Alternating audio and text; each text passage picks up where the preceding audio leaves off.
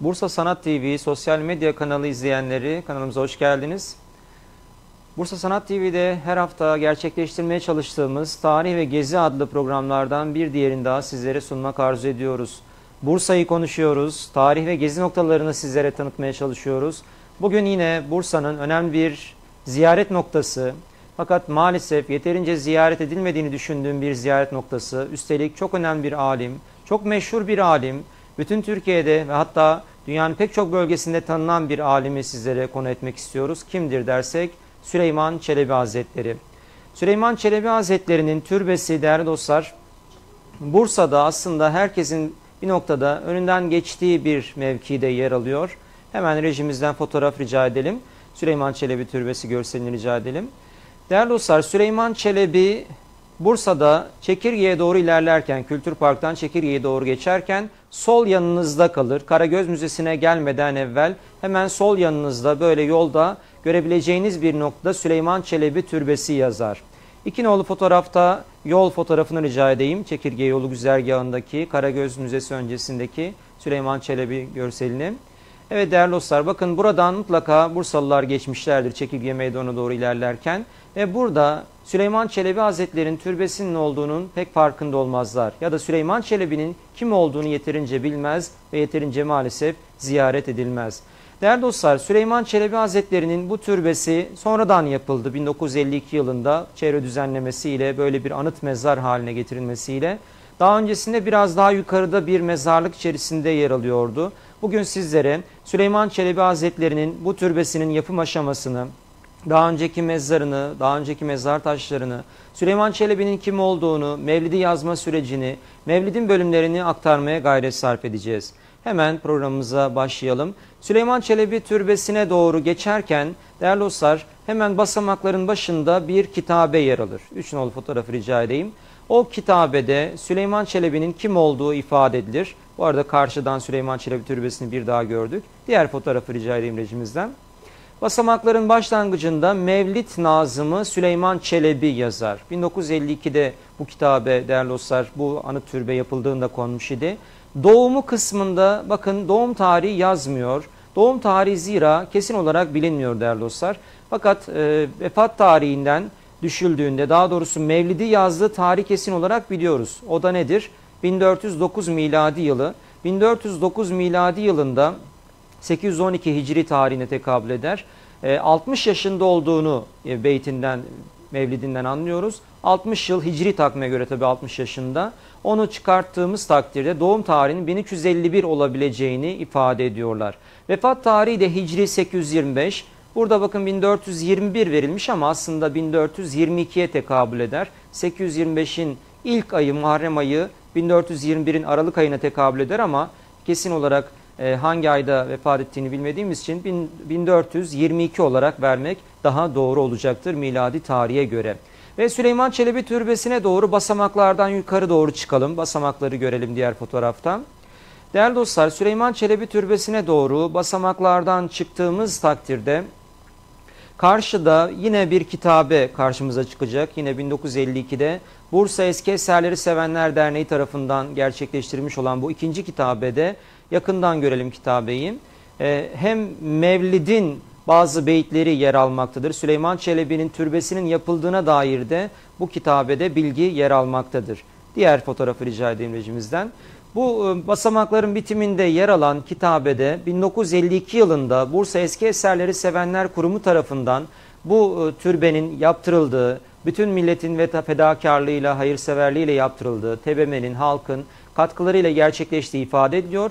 Ve bakın kitabenin etrafına Süleyman Çelebi'nin Mevlidinin ilk beyti yazılmıştır. Allah adın zikredelim evvela, vacip oldur cümle işte her kula beyti. Burada e, bir dairevi şekilde yukarıya yazılmış. İç kısımda da yine Süleyman Çelebi'nin Mevlidinden bazı bölümler yer almaktadır. Peki Süleyman Çelebi'nin türbesine doğru yaklaşalım. Diğer fotoğrafı rica edeyim. Kitabeyi daha yakından da gördükten sonra hemen Süleyman Çelebi'nin türbesi kısmına geçmiş olalım. Diğer fotoğrafı rica edeyim rejimizden.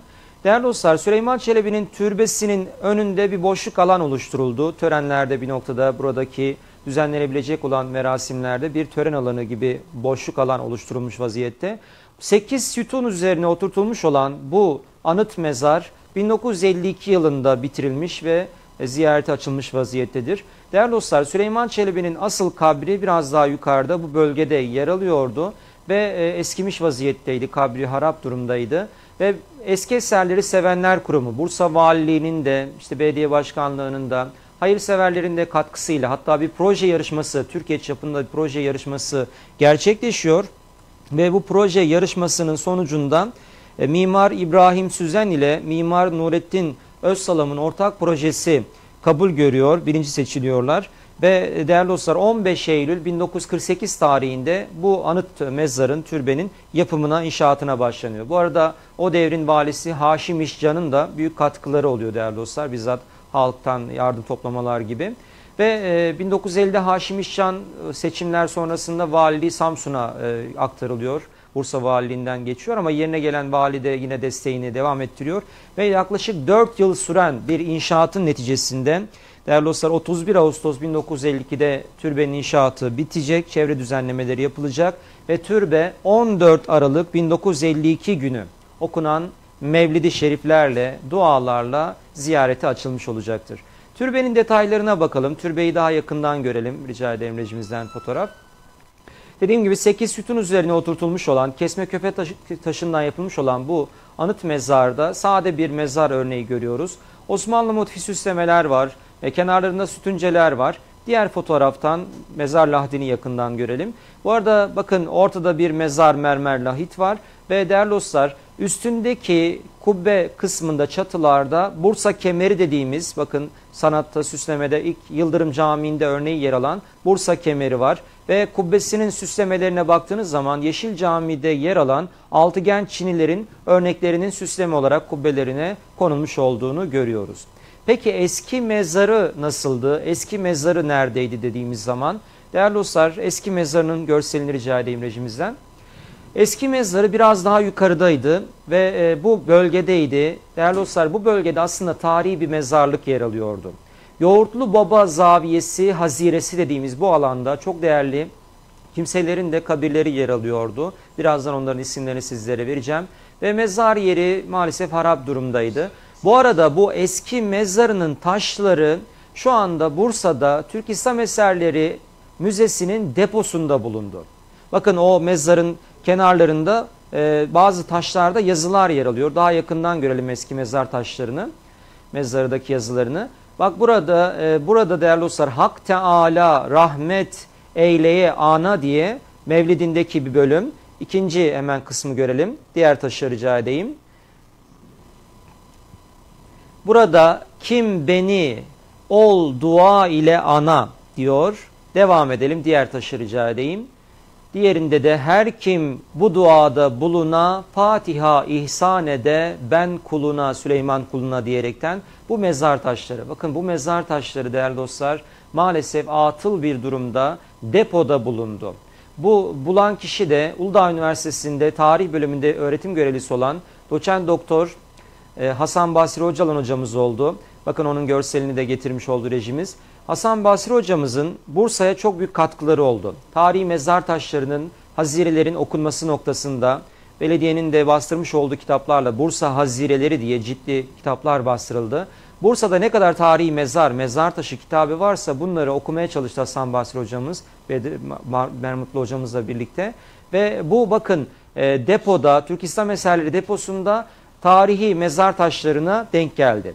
Bu arada Süleyman Çelebi'nin mezar kabir taşını da Muradiye avlusundaki tarihi mezar taşlarının arasında yine bulmuş oluyoruz. Bakın şu anda Hasan Basri Hoca'nın görseliyle beraber tut, elinde göstermiş olduğu mezar taşı Muradiye avlusunda geçen hafta size konu ettiğim Muradiye avlusundaki mezar taşıdır. Bu 1800 yıllara ait bir mezar taşı. Onu yakından görelim. Diğer görseli rica edeyim. Bakın Süleyman Çelebi, Mevlid yazarı Süleyman Çelebi'nin kabir taşı olarak 1800 yıllarda konmuş olan kabir taşı. Ön yüzünü görelim. O ön yüzündeki aynı zamanda mezar taşında ne yazdığını ifade edelim. Diğer mezar taşını görelim. Bakın burada Manzumeyi Menkıbeyi Veladeti Nebeviye Aleyhisselam'ın tahiyyeti diyerekten Peygamberimizin mevlidini yazan Süleyman Çelebi'nin, Süleyman Efendi'nin ismi yazmakta değerli dostlar. Mezar taşını tam olarak size okuyacak olursak Manzumeyi Menkıbe-i Veladet-i Nebeviyye aleyhisselam ve tahiyyeti müellifi yazarı Süleyman Efendi merhumun merkadı müteberrikidir. Aleyhir rahmeti vel gufran yazıyor bu mezar taşında. Bu mezar taşı dediğim gibi Muradiye'de değerli dostlar. Aslında Hasan Basri hocamız e, bunun işte Süleyman Çelebi'nin türbesine intikal ettirilmesi gerektiğini falan çeşitli platformlarda ifade etmiştir ama hala Muradiye'dedir. O mezar taşı orada kalmış vaziyette. Eski mezarının yanlarındaki o ta taş kitabeler ise dediğim gibi Türk İslam Eserleri Müzesi'nin deposundaymış maalesef değerli dostlar diyoruz. Peki Süleyman Çelebi kimdir? Ondan biraz bahsedelim. Diğer görselimizi rica edelim rejimizden. Bu arada bu bakın 1952'de eski eserleri sevenler derneği dedik bu türbeyi yaptırdı.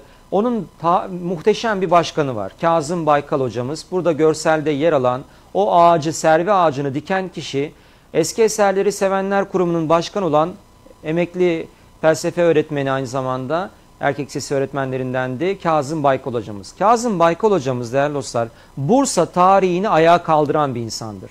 Emir Sultan kabrinde, Emir Sultan mezarlığında yatıyor. 1993'te vefat etmişti.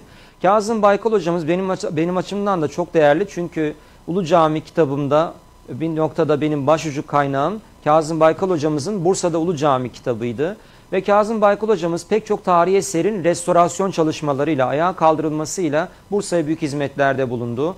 Ve işte e, bu e, Süleyman Çelebi'nin türbesinin de 1952'de bu şekilde yapılmasında onun büyük emekleri oldu. Ve Süleyman Çelebi türbesinin önüne bakın bir servi ağacını dikerken 1952'deki bu görseli. Peki o servi şu anda nasıl? Onu görelim. Bakın hemen türbenin yanında yer alan bu servi ağacı değerli dostlar Kazım Baykal hocamız tarafından dikilmiş olan yaklaşık 70 yaşında bir servi ağacıdır. Ve Süleyman Çelebi Türbesi'nin etrafında tarihi serviler var. 100-150 yıllık, 200 yıllık hatta biraz daha ileride 330 yıllık bir servi ağacı var. Niye? Çünkü aslında burası tarihi bir mezarlıktır. Bir mezarlık haziresidir. Bakın değerli dostlar bu mezarlıkta pek çok önemli kimseler de yatıyordu. Diğer görselimizi rica edeyim. Bakın bu arada bu mezarlık nereden nereye kadardır derseniz Süleyman Çelebi Türbesi'nin üzerinden başlar. Hemen bakın burada bir, bir kafe yer alıyor. Çırağan Kafe diye bilinen. ileride kafenin fotoğrafını görüyorsunuz. Onun daha ilerisinde Karagöz Müzesi gözüküyor. Karşısında Karagöz anıtı vardır. Sembolik mezar anıtı vardır. Oraya kadar hatta Çekirge polis karakoluna kadar olan kısım bir mezarlık alanıydı.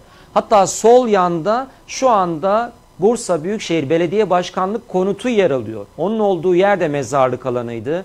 Ve bu mezarlık alanında tespit edebildiğimize göre değerli dostlar çok önemli kimselerin isimleri yer alıyor. Ve burada tespit edilmiş olan kimler var diye baktığımızda Yoğurtlu Baba.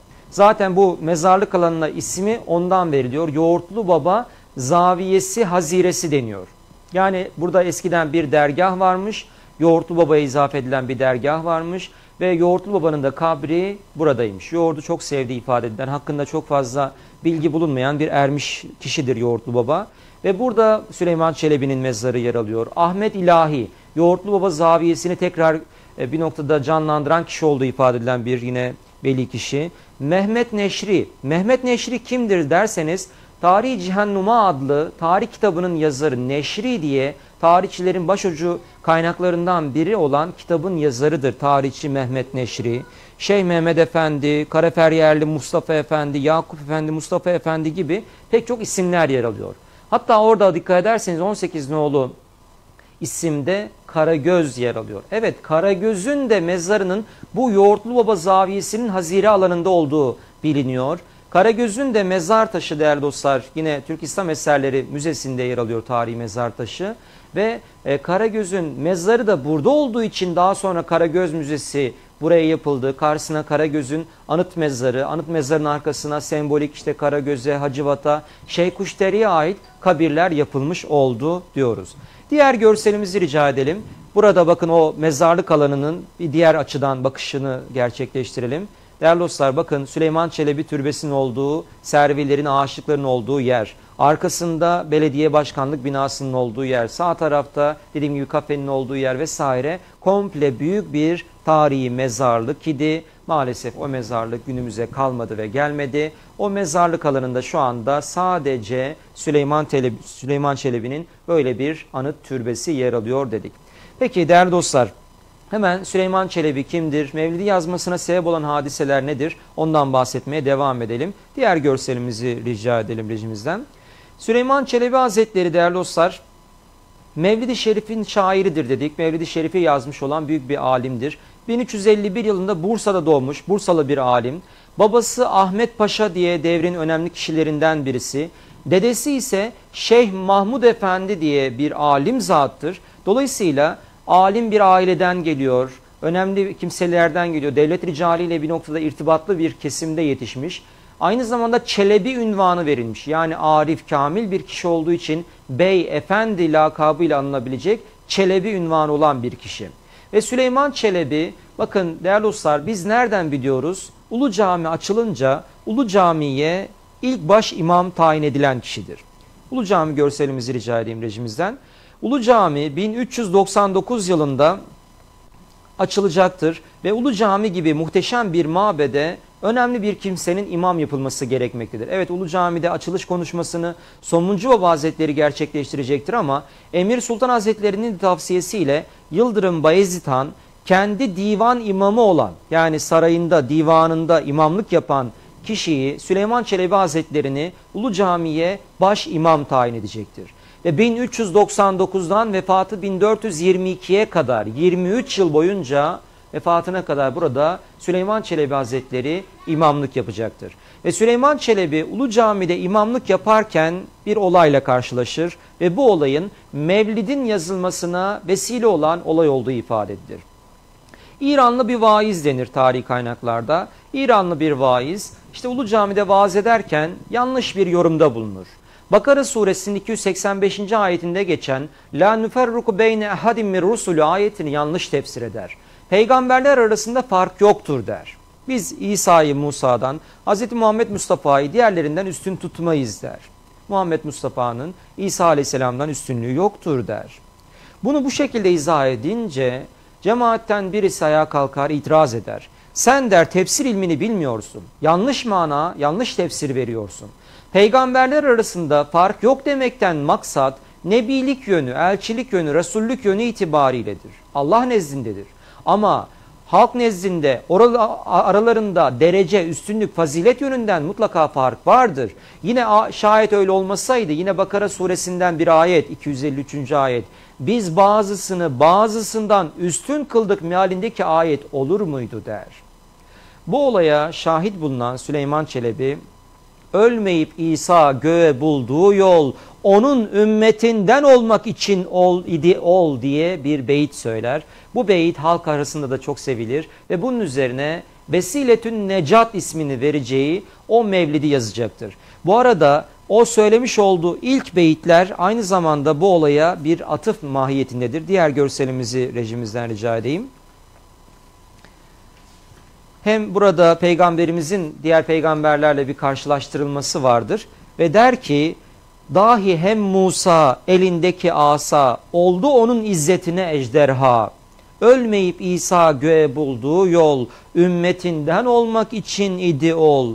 Çok temenni kıldılar haktan bunlar kim Muhammed ümmetinden olalar. Gerçi kim bunlar dahi mürsel gönderilmiştir. Lakin Ahmed efdalü ekmel durur. Zira efdalliye e, o yak durur. Anı öyle bilmeyen ahmak durur der. Yani diğer peygamberleri de kıyaslayaraktan Hz. İsa'nın göğe yükselmesinin e, bir noktada peygamberimizin ümmetinden olması için olduğunu, Hz. Musa'nın elindeki asa ile bir noktada gösterdiği mucizelerle peygamberimizin izzetine, onun izzetine ejderha olduğunu, ve bunların dahi peygamberimizin ümmetinden olmak istediklerini ifade ediyor. Ve diyor ki gerçi bunlar da Allah tarafından gönderilmiş rasullerdir ama Ahmet peygamberimizin bir diğer adı Ahmet efdalü ekmel en mükemmeli ve üstün olanı odur. Zira üstünlüğe en layık olan odur ve bunu böyle bilmeyen de ahmaktır diyerekten o kişiye bir noktada cevap vermiş oluyor. Ve mevlidini yazıyor. Değerli dostlar Mevlid diye bildiğimiz kitap aslında Vesiletün Necat ismini taşıyan bir eserdir. Diğer görselimizi rica edelim rejimizden. halk arasında mevlit diye bilinmiş, mevlüt diye isimlendirilmiş. Mevlit bu arada doğum demektir. Peygamberimizin doğumunu daha ziyadesiyle anlatacağı için buna mevlid ismi halk tarafından bir nokta verilmiştir. Ama aslında e, Süleyman Çelebi bu, bu eserine Vesiletün Necat ismini vermiştir. Ne demek Vesiletün Necat? Kurtuluş vesilesi, necat vesilesi. Peygamberimizin şefaatine ulaştıracak bir vesile olarak bunu görmüş ve bu mevlidini değerli dostlar yazmıştır. Mevlid-i Şerif değerli dostlar Süleyman Çelebi'nin yazmış olduğu bu mevlid bakın 1409 yılından beri 611 yıldır dünyada en çok okuna gelen bir mevlittir. Çok ihlaslı bir şekilde yazılmıştır. Peygamber Efendimiz'e olan sevgisini bir nokta ortaya koymuştur.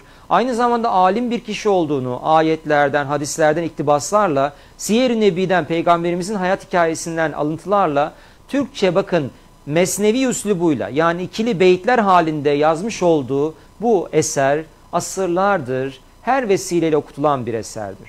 Sadece Peygamberimizin Mevlid kandilinde okunmuyor. Bütün mübarek gün ve gecelerde okunuyor. Sadece mübarek gün ve gecelerde okunmuyor. Her vesileyle ölümlerde, doğumlarda, askere yollanmalarda, her türlü vesilelerde, bakın camilerde, evlerde okunan bir mevlittir.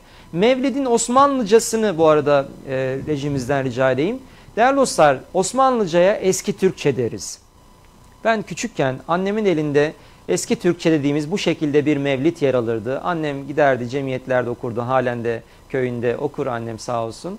Ve bakın o mevlidi ben de ondan alıp okumaya çalışırdım. Türkçedir bu. Osmanlıca dediğimiz şey Arap harfleriyle yazdığımız Türkçe yazıdır. Ve orada bakın Mevlid'in başlangıç beyti Allah adın zikredelim evvela vacip oldur cümle işte her kula ifadesi Arapça ama yazılarla Arapça harflerle Türkçe olarak yazılmış eski Türkçemizde bu şekilde ifade edilmiştir. Ve değerli dostlar Mevlid'in bölümleri nelerdir dersek Mevlid 6 bölümdür. Münacat yani Allahu Teala'ya bir yakarma ile başlar. Veladet yani peygamberimizin doğumunu anlatır. Risalet yani peygamberimizin peygamberliğinin verilmesini bildirilişini anlatır. Peygamberimizin mucizeleri ve özellikle Miraç bölümü önemlidir yine bu mevlitte değerli dostlar. Peygamberimizin göğe yükselmesi, cenneti cehennemi görmesi, Allah'la görüşmesi anlatılır. Peygamberimizin rıhleti yani bu fani dünyadan ahirete göç etmesi, e, Peygamberimizin vefatı anlatılır ve dua bölümüyle noktalanır. Ve Mevlid'in bölümlerinden meşhur bazı pasajları sizlere aktarmak arz ediyorum. Değerli dostlar, Mevlid denince hemen akla ilk gelen beyitler şöyledir. Allah adın zikredelim evvela. Vacip oldu cümle işte her kula. Allah adın her kim ol evvel ana. Her işi asan eder Allah ona. Allah adı olsa her işin önü, her gizepter olmaya anın sonu.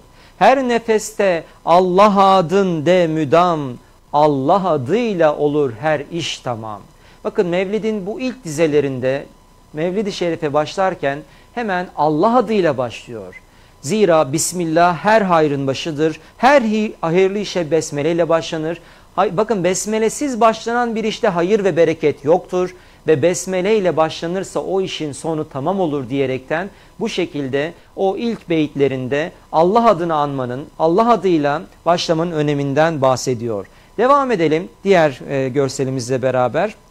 Bir kez Allah dese şevk ile lisan, dökülür cümle günah misli hazan, ismi pakin pak olur zikreyleyen, her murada erişir Allah diyen, aşk ile gel şimdi Allah diyelim, Allah edelim, derd ile, gözyaş ile ah edelim, ola kim rahmet kıla ol padişah, ol kerimu, ol rahimu, ol ilah. kadar güzel.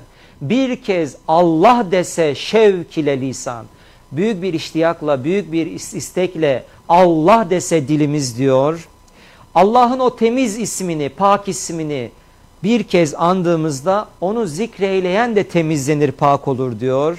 ve cümle günahları dökülür misli hazan sonbahar misali sonbaharda nasıl yapraklar dökülüyorsa Allah diyenin de günahlarının o misli hazan gibi döküleceğini ifade ediyor ve her murada her isteğine kavuşur Allah diyen aşk ile gel şimdi Allah diyelim derd ile gözyaş ile ah edelim ola kim rahmet kıla ol padişah ol kerim o Allah ki çok cömerttir. Ol rahimu o çok merhametlidir. Ol ilah diyor. Devam edelim. Mevlidinde yine diğer bölümde Ey azizler işte başlarız söze bir vasiyet kılaruz illa ancak size. Diğer görselde ey azizler diye başlayan görseli rica edeyim. Diğer görselde.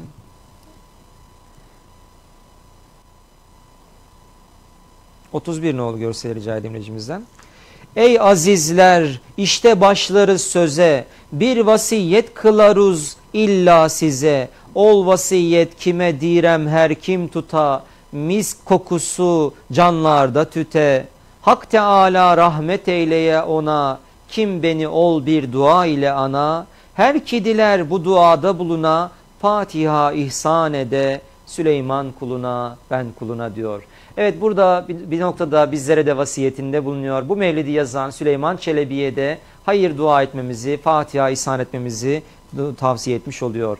Değerli dostlar ve Mevlid'in Mevlid diye isimlendirilmesinin en önemli sebebi Peygamberimizin doğumunun anlatıldığı veladet bölümüdür. Veladet doğum anlamına geliyor. Veladet bahri ile ilgili kısmı rica edelim. Diğer görseli rica edelim.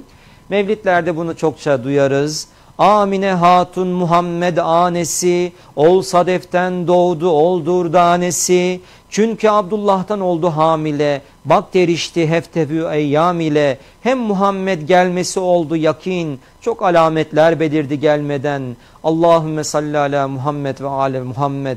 Ol Rebiyül evvel ayın nicesi, 12. gece İsneyn gecesi, ol gece kim doğdu ol hayrül beşer, anesi anda neler gördü neler, dedi gördüm ol Habibin anesi diye devam ediyor. Evet peygamberimizin doğum gecesinde annesinin Amine Hatun'un gördükleri yine bu veladet bahrinde ifade ediliyor. O mucizeleri bir noktada ifade ediyor. Ve devam ediyor değerli dostlar.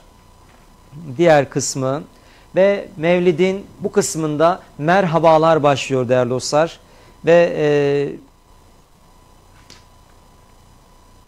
Susadım gayet hararetten kati, sundular bir cam dolusu şerbeti, kardan ak idi ve hem soğuk idi, lezzeti dahi şekerde yok idi. İçtim anı oldu vücudum nura gark, edemedim kendimi nurdan fark.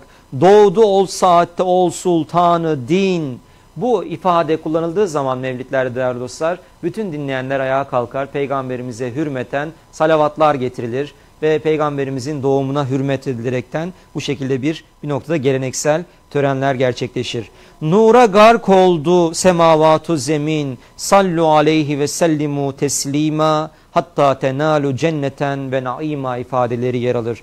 Ona salat ve selam ediniz cennete ve nimete kavuşuncaya kadar diye ifade edilir. Sonrasındaki diğer kısmı diğer görselimizde yaratılmış cümle oldu şanuman gam gidip Alem yeniden buldu can, cümle zerratı cihan, dünyadaki bütün zerreler idüp sada seslenip çağruşu ben adeta bağırarak dediler kim? Merhaba, merhaba ey Ali Sultan merhaba, merhaba ey kanı irfan merhaba, merhaba er ey kurretül ayn gözümün nuru halil, merhaba ey hası mahbubu celil, Allah'ın en içten sevdiği, Merhaba ey cümlemin matlubu sen. Diğer görselle devam edelim. Merhaba ey Halık'ın mahbubu sen. Merhaba ey canı canan merhaba. Merhaba ey derde derman merhaba. Merhaba ey asi ümmet melceği. Merhaba ey çaresizler eşbeyi şefaatçisi. Merhaba ey Rahmeten lil alemin, alemlere rahmet. Merhaba sensin şefi'al müznibin, bütün günahkarların şefaatçisi. Ey cemali gün yüzü bedri münir, ey kamu bütün düşmüşlere sen destgir yardımcı. Destgirsin, yardımcısın, Bütün üftadenin, düşkünlerin hem penahı sığınacak yeri bende-i azadenin ifadesini kullanıyor. Ve değerli dostlar salatu selamlar başlar. Bununla ilgili görselimizi de rica edelim. Ey gönüller derdinin dermanı sen, ey yaratılmışların sultanı sen. 36 nolu görseli rica edelim. Eğer dilersiz bulasız oddan necat, ateşten kurtuluş isterseniz aşk ile, derd ile edin salat. 36 nolu Mescid-i Nebi görseliyle beraber olan görseli rica edeyim rejimizden.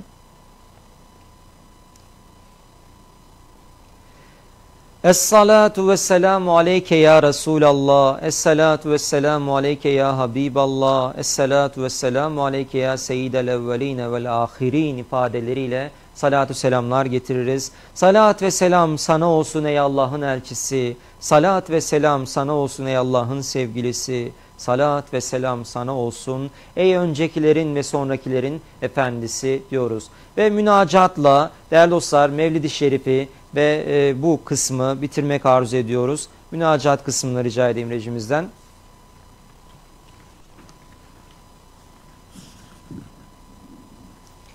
İlahi cennet evine girenlerden eyle bizi. Cennet içre cemalini görenlerden eyle bizi. Ya hayyu ya kayyum samed. İhsanına yoktur adet. Firdevs bahçesinde ebed. Kalanlardan eyle bizi. Ya ilahi ol Muhammed hakkı için, ol şefaat kanı Ahmed hakkı için, sırrı Furkan nuru azam hakkı için, Kutsu Kabe Merve Zemzem hakkı için, aşk odundan ciğeri püryan için, derd ile kan ağlayan giryan için. Ya ilahi sakla gil imanımız, verelim iman ile ta canımız. Sana layık kullarınla hem demet, ehli derdin sohbetine mahrem et. Hem Süleyman'ı fakire rahmet et. Yoldaşın iman, makamın cennet et. Ya ilahi kılma bizi dalin. Bu duaya cümleniz deyin amin amin. Ümmetinden razı olsun ol muin. Rahmetullahi aleyhim ecmain ifadesiyle bitiriyoruz. Biz de değerli dostlar Mevlid-i Şerif'in şairi Süleyman Çelebi Hazretleri'nin de ruhu için, Peygamberimiz sallallahu aleyhi ve sellemin de, ashab-ı güzelinin de, bütün ulema evliyaların da ruhları için değerli dostlar rahmet diliyoruz. Ve bu programımızı da Tarih ve Gezi adlı programımızı da bu şekilde bitirmek arzu ediyoruz. Diğer bir programda görüşmek üzere. Sağlıcakla kalın efendim.